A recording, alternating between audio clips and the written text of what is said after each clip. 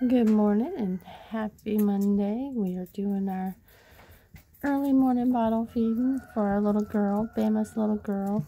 Again, she's just a little triplet and we're just making sure she gets some extra nourishment because her brothers are pigs.